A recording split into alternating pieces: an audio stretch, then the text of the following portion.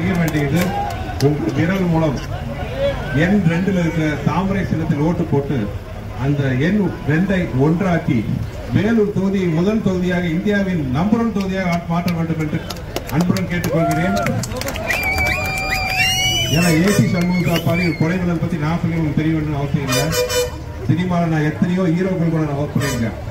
அதெல்லாம் சினிமாவில் ஆனால் நிஜத்தில் நான் பார்த்த ஒரே ஹீரோ அண்ணன் ஏசி சண்முகா அவர் தான் அவரோட மல்லல் தளத்துக்கு எவ்வளவு விஷயம் சொல்லலாம்? பதவி எந்த பதவியிலும் இல்லாத பொழுதே கிட்டத்தட்ட ஐநூறுக்கு மேல மருத்துவ முகாம்கள் நடத்தி ரெண்டே கால் லட்சம் பயனாளிகளுக்கு சிகிச்சை அளித்து கிட்டத்தட்ட ஆறாயிரம் பேருக்கு கண் ஆபரேஷன் பண்ணி அது மட்டும் இல்லாம நூற்றுக்கணக்கான பேருக்கு இருதய ஆபரேஷன் செஞ்சு அவங்க உயிரை காப்பாத்தினவர்.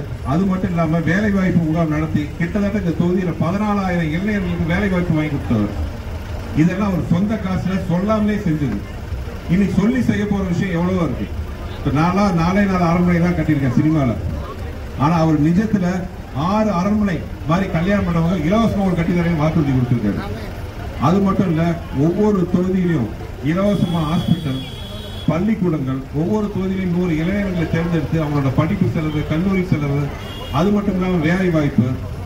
இது போக அவருடைய வாக்குறுதியில் இனிமேல் இந்த திருமண இந்த தொகுதியில் நடக்கிற ஒவ்வொரு கல்யாணத்துக்கும் ஏசி சண்முக சாரோட தரப்புல இருந்து ஒரு தந்தையாக தனையனாக ஒவ்வொரு கல்யாணத்துக்கும் பத்தாயிரம் ரூபாய் இலவசமா அவர் தராரு.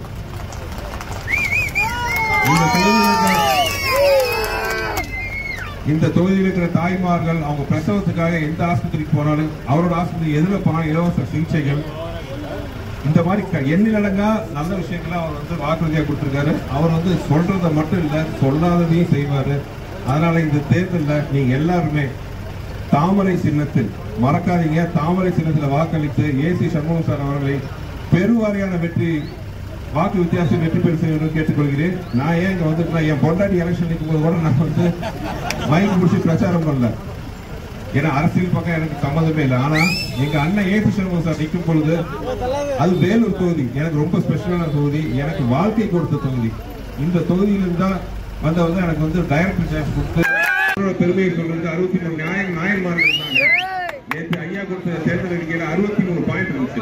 எப்படி சிவனோட பெருமையை வந்து சிவபுராணம் குறிச்சோம் அந்த மாதிரி வேலூரோட பெருமையை பல மடங்கு ஏந்தி சண்முகர் வந்து உயர்த்தி காட்டுவாரு. அதுக்கெல்லாம் முக்கியமான விஷயம் உங்க கையில தான் இருக்கு உங்க விரல்ல இருக்கு. வர்ற பத்தொன்பதாம் தேதி எலெக்ஷன்ல என் ரெண்டுல இருக்கிற தாமரை சின்னத்தில் வாக்களிச்சு வெற்றி பெற பெற்று ஏசி சமூக வெற்றி பெற வச்சீங்கன்னா வெள்ளூர் தொகுதி நம்பர் ஒன் தொகுதியாக இந்தியாவில் மாறும். பாரத பிரதமர் நரேந்திர மோடி அவர்கள் உங்கள் வாக்கு தலைமுறைக்கு நண்பர்கள் ஏசி நண்பர்கள் என்று கேட்டு விடைபெறுகிறேன். நன்றி நன்றி நன்றி. அடுத்ததாக வந்து உதயந்திரத்துக்கும் இந்த ஆலயம்பாடிக்கும் உங்களை கடை கடைசி தேர்தல் நேரத்தில் உங்களை பார்க்கணும்னு வந்திருக்கோம். அ- தொம்பேரி பகுதியில் இருக்கிற மக்களுக்கு. நம்ம சுந்தர் சிங் சார் சொன்னார். என்ன சொன்னார் பார்த்தீங்கன்னா அவங்க ஒய்ஃபு சகோதரி குஷ்பு எம்எல்ஏ வேட்பாளராக நின்னாங்க. அவர் மைக்கு பிடிச்சி பேசல எந்த பிரச்சாரத்துக்கும் போல ஆனால் ஏசி சமூகத்துக்கு வந்திருக்காருன்னா நீங்கள் அதை வந்து தெரிஞ்சுங்க. அவருக்கு எனக்கு அவருக்கு மரியாதை நட்பு. அதில் இவரும் இந்த தேர்தலில் களத்துக்கு வந்திருக்கார். பாரத பிரதமர் டெல்லியிலேருந்து விமானத்தில் புறப்பட்டு வே இந்த சென்னை ஏர்போர்ட்டுக்கு வந்து சென்னை ஏர்போர்ட்லேருந்து ஹெலிகாப்டரில் அப்துல்லாபுரம் வந்து அப்துல்லாபுரத்துலேருந்து காரில் ஆறு கிலோமீட்டர் வந்து வேலூர் மேடையில் ஏசி சமூகத்துக்கு பிரச்சாரம் பண்ணாருன்னா அதில் வந்து என்ன வேலூர் வெற்றி பெறணுன்றதுக்காக ஒரே காரணத்துக்காக தான் அவர் வந்து பிரதமர் வந்து நின்னார். அதனால் நான் அன்போடு கேட்டு ரெண்டாவது எங்கே கட்டணும் வாணிபடி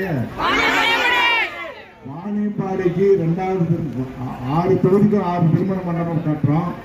ரெண்டாவது திருமணம் எந்த தொகுதி அதிகமாக லீடு கொடுக்குறாங்களோ அவங்களுக்கு தான் ரெண்டாவது திருமண மண்டபம். மூணாவது நாலாவது அஞ்சாவது.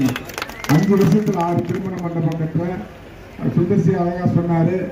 நேற்று தான் நான் முடிவு எடுத்து வந்தேன் ஏழைகள் எங்கெங்கெல்லாம் திருமணம் செய்கிறாங்களோ அவங்களுக்கு என்னுடைய கூட்டணி நிர்வாகிகளுடைய ஃபோன் நம்பரில் நீங்கள் கொடுத்தீங்கன்னா இன்விடேஷன் நீங்கள் கொடுத்தீங்கன்னா அந்த குடும்பத்துக்கு திருமணம் செய்கிற குடும்பத்துக்கு பத்தாயிரம் ரூபாய் மொழி பணம் ஏ பணம் முதல்ல வந்தோம்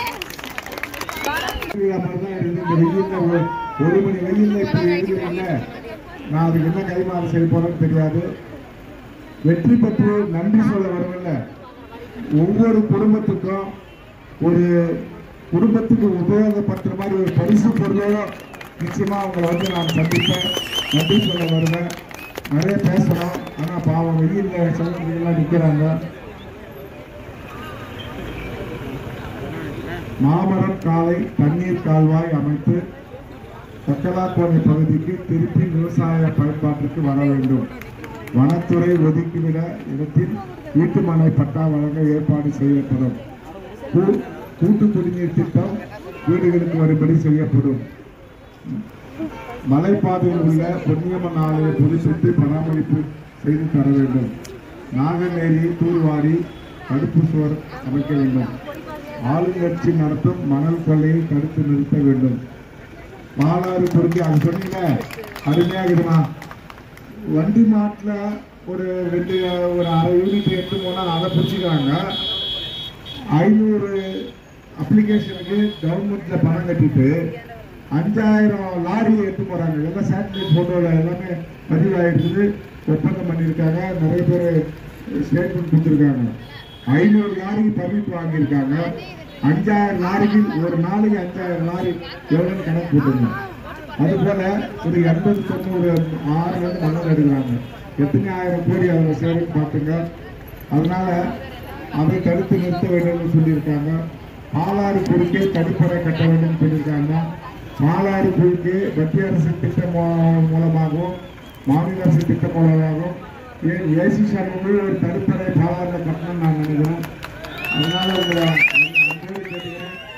உங்கள் சின்னம்மா சகோதரிகள் உங்கள் சின்னம்மா யாரு கேட்கணுமா மோடி டெல்லியில் இருக்கிற மோடி சொல்லுங்க.